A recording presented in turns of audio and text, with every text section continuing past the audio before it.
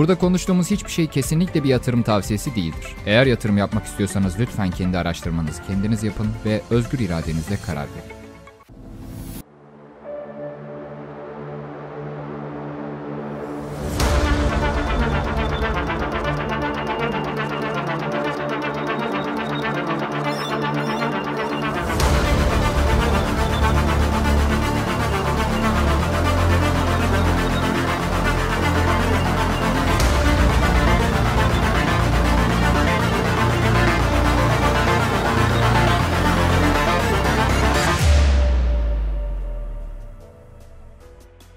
Ethereum gaz ücretleri almış başını giderken, birçok ağ yavaşlarken ya da çalışmayı durdururken tüm bu olanlara dur diyecek birisi yok mu? Birçok ağda işlemler yavaş, pahalı ya da merkezi şekilde ilerliyor. Blok zincirde bu trilemma uzun yıllardır çözüm bekliyor. Ölçeklenebilir, merkezi olmayan ve güvenli bir ağ konuştuğumuz tüm bu sorunları halledebilir. Bugün bu trilemmayı çözmeye hedefleyen bir blok zincir projesiyle karşınızdayız. Bu proje için birçok yerde yeni Solana diye bahsediliyor. Peki gerçekten öyle mi? Kripto Türkiye'den herkese merhaba. Velas geliştiriciler tarafından geliştiriciler için oluşturulan hayatı kolaylaştıran blockchain sloganıyla çıkış yapıyor. Merkeziyetsiz projeler ve uygulamalar için dünyanın en hızlı EVM blok zinciri ve açık kaynaklı platform olduğunu iddia ediyor. Anlık gerçekleşen işlemler, son derece düşük ücretler ve Solidity desteğiyle saniyede 75 bine kadar işlem yapabileceğini söylüyorlar. Bir işlemi sonlandırma süresi ise 1.2 saniye. EVM yani Ethereum sanal makinesi çalıştırılması ve Solidity desteği sayesinde Ethereum üzerinde çalışabilen her türlü uygulama burada da çalışabilecek.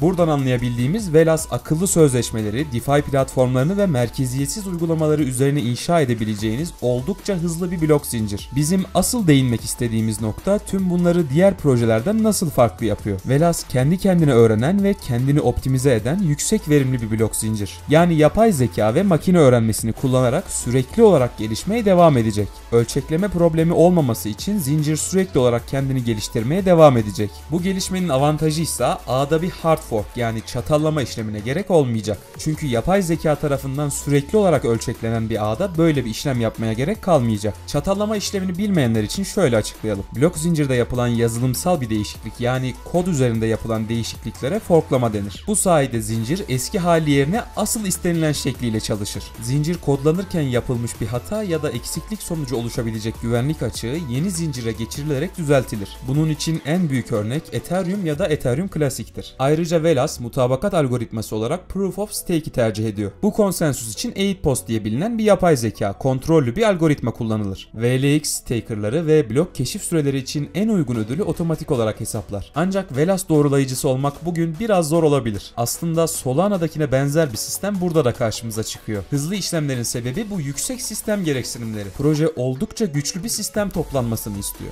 Bunun şu anda bir merkeziliğe yol açabileceği aşikar. Ancak yakın bir gelecekte bu tip sistemler ucuzlamaya ve yaygınlaşmaya başlarsa kesinlikle merkeziyetsiz bir yapıya doğru gidileceğini söyleyebiliriz. Her blok zincir sisteminin merkeziyetsiz olmasını sağlayan en büyük unsur kesinlikle çok sayıda doğrulayıcının olmasıdır. Projenin istediği sistem gereksinimleri herkes için erişilebilir olmadığı takdirde çok fazla sayıda doğrulayıcıya erişmeyecektir. Şu anda Velas saniyede 30 bine kadar işlem gerçekleştirebiliyor. Bu da büyük kripto para birimlerinin yaptığından çok daha yüksek. Hatta bu TPS seviyesi Visa veya Mastercard gibi geleneksel ödeme sistemlerinden bile daha yüksek. Velas akıllı sözleşmeleri desteklediğinden milyonlarca kullanıcıya hizmet verecek şekilde ölçeklendirilen DeFi uygulamaları çalıştırmak için kendini birinci konumda hedefliyor. Velas'ın en büyük iddiası kullanıcılar için hızlı, ucuz ve şeffaf uygulamaları kendi zincir üzerinde barındırmak istemesi. Hatta uygulamaların Ethereum zincirinden kendi zincirlerine gelmeleri için her türlü altyapıyı oluşturduklarını da söylüyorlar. Zaten başta da EVM'yi desteklediklerini söylemiştik.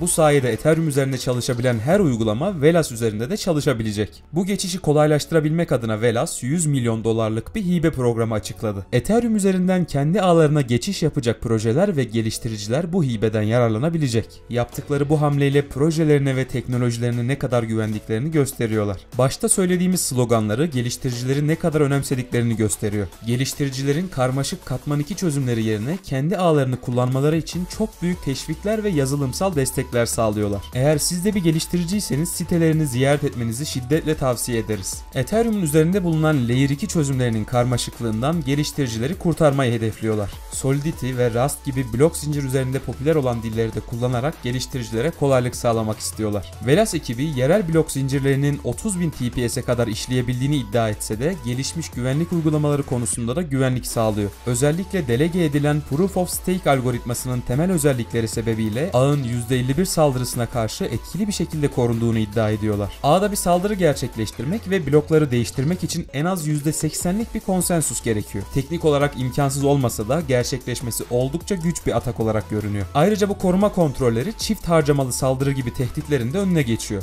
Bilmeyenler için çifte harcama bir kullanıcının aynı jetonları birden fazla kez kullanmasına sebep olan bir saldırı türü olarak özetlenebilir. Velas cüzdanını kullanırken kullanıcılar platformun tescilli jetonunun yanı sıra diğer kripto para birimlerini de destekliyor. Buna Bitcoin, Ethereum, XRP, Monero ve EOS gibi markette büyük hacime sahip paralar da dahil. Velas kullanıcıları cüzdanın içinden özel anahtar tohumları oluşturabilir, yerel olmayan paraları saklayabilir ve çok sayıda yedekleme oluşturabilirler. Çoğu blok zincir ağı işlemleri işlerken yalnızca tek bir dijital imzaya izin veriyor. Bu genellikle ilgili özel anahtara erişimi olan tek bir kişi için. Ancak bazı durumlarda cüzdanın birden fazla sahibinin olduğu durumlarla karşılaşılabiliyor. İşte Schnorr imzaları tam burada devreye giriyor. Bu teknoloji belirli bir cüzdanın her sahibinin Velas blok zincirinde işlem yapmadan önce işlemi imzalamasını gerektiriyor. Bu özellikle ortak hesapların çalışması için oldukça yararlı. Kullanıcı tarafından baktığımızda düşük ücretler ve hızlı transferler oldukça yüksek gözüküyor. Bunun yanında kullanıcıların kullanacakları uygulamaları tasarlayan geliştiriciler içinse yüksek hibeler ve yazılım destekleri sağlıyor. Bu desteklerse blok zincirin hızlıca gelişmesini sağlayacak önemli adımlar. Öyle ki proje başına 100 bin dolara kadar çıkabilecek hibeler olduğunu bizzat ekibin kendisi söylüyor. Velası blok zincir alanında yeterli tecrübeye sahip bir ekip yönetiyor. İlk olarak platform Alex Alexandrov tarafından kuruldu. Kurucu şu anda Kanada Blok Zincir Topluluğu'nun yönetim kurulu üyesi. Bu alanda uzun yıllardır deneyime sahip.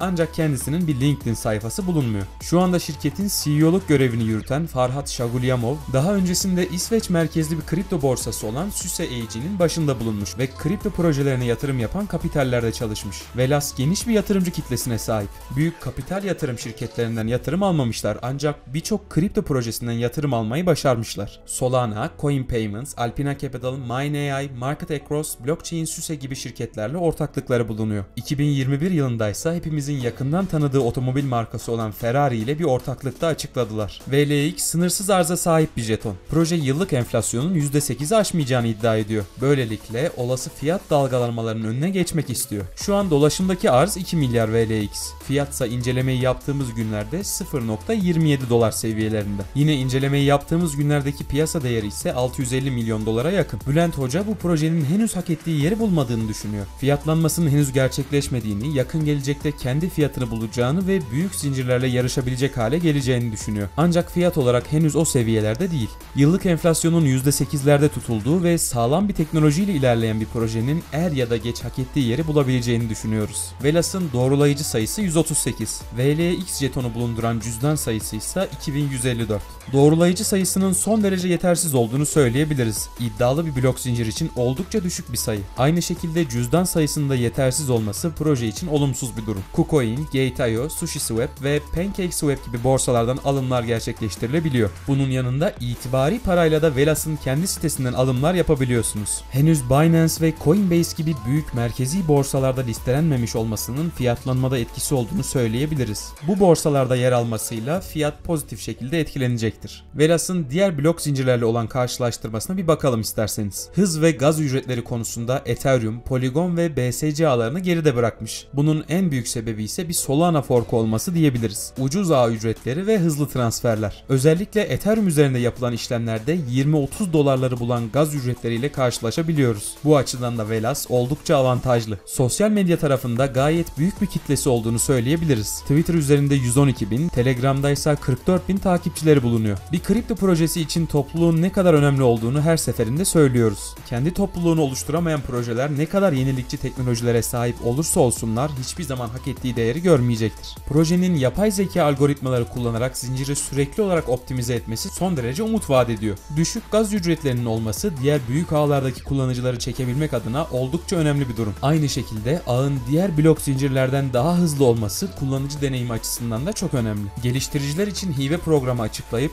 yeni çıkacak projeler için ve başka zincirlerde bulunan projeler için destek sağlaması inşa edilecek deplerin ve kullanıcı sayısını artırmak adına umut vaat ediyor. Ancak projenin istediği doğrulayıcı olma şartları ağı şu an için merkeziliğe kaydırdığını düşünüyoruz. Solana'dakine benzer bir bilgisayar gereksinimi istemesi bizim için eksi bir durum. Çünkü bu tip sistemlere ulaşmak bugün herkes açısından mümkün olmayabilir. Bunun yanında istenen 1 milyon VLX stake'i de yine ağı merkezi hale getiriyor. İncelemeyi yaptığımız günlerde bu tutar yaklaşık 200 bin dolara tekabül ediyor. Gelecekte istenen donanım gereksinimlerinin daha erişilebilir olduğunu söylesek bile istenen stake miktarı merkeziyetsizlik vaadiyle ne kadar ölçüşüyor bu tartışılır. Pazarlama tarafında zayıf kaldıklarını düşünüyoruz. Yaklaşık 2 yıldır piyasada bulunan bir proje için yeterli doğrulayıcı ve cüzdan sayısına ulaşamamış olmaları projenin geleceğini doğrudan etkileyecek bir durum. Avalanche, Polkadot, Solana, Near gibi projeler daha önceden altyapısını hazırlayıp kripto pazarında yerlerini aldılar. Hepsi de Ethereum'un rakibi olarak piyasaya çıktı. O yüzden Velas'ın belirtilen sorunlardan bir an önce kurtulup piyasada daha hızlı yükselmesi gerekir.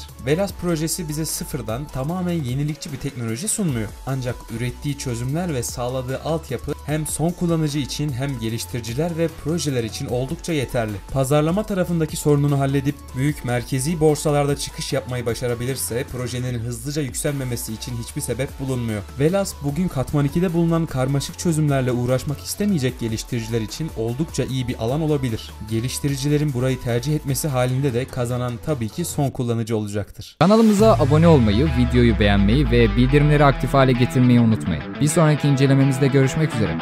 Şimdilik hoşçakalın.